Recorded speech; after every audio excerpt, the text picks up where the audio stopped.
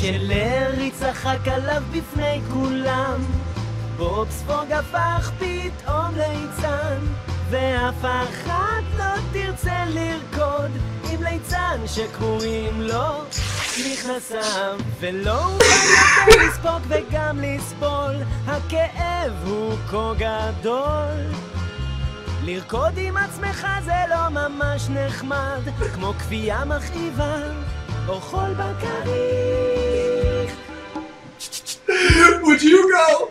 עכשיו למדתי לקח שאותו לא אשכח, הקשיבו טוב וקבלו עצה, היו עצמכם, The יהיו man אתכם, ולא in תסיימו the service ככה סתם and a עם grenade went off and he lost his fucking leg. Would you pick on him for losing his leg?